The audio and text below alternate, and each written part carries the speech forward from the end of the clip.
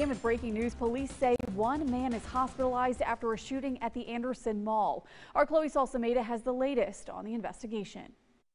Officers were called to the Anderson Mall just after 11:30 Saturday morning.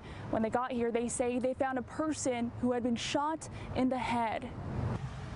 Witnesses tell 7 News they heard a gunshot coming from inside the mall.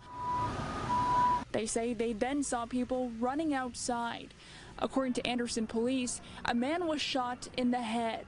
He was taken to the hospital in a helicopter. Officers have not released any information about a suspect or motive, but say they believe the suspect and victim knew each other. The mall is closed for the rest of the day. In Anderson, Chloe Salsameda, 7 News.